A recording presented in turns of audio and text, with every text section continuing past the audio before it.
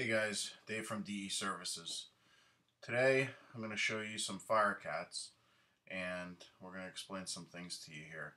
Now I installed these fire cats because there is actually no top plate to this job and the reason why is this house is actually balloon framing.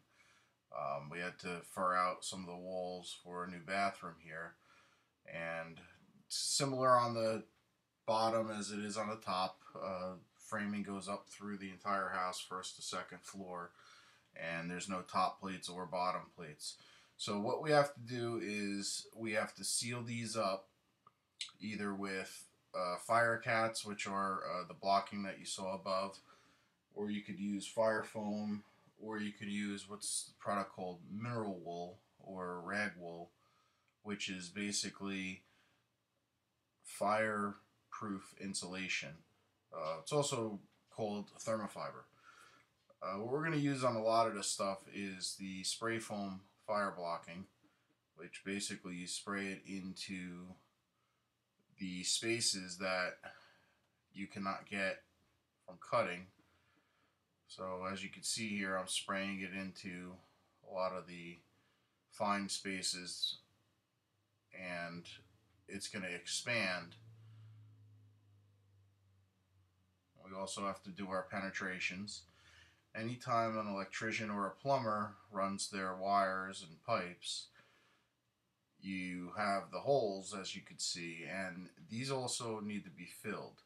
Now the object of the fire cats and all this penetration uh, foam is to close the bay that all your plumbing and or electric is in and what that's going to do is when you close the bay, it only has so much oxygen that's actually in that bay for the fire to burn. And it's not going to allow the fire to draw oxygen either from the top or to the bottom. Therefore, it'll keep it from spreading. Now, as you can see, a lot of this spray foam is now installed and it's pretty much everywhere along the top and along a lot of the bottom.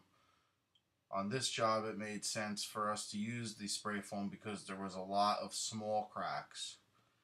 Now when you have a lot of small cracks like that it just makes it much easier. The, the foam you spray in there expands. Okay, now if you have anything big, like down below, we had some big spaces, it would take a few cans of the spray foam and it's really not worth it to do. So we use the Thermafiber here. And that's all you have to do to seal up your fire blocking penetrations. Good luck guys.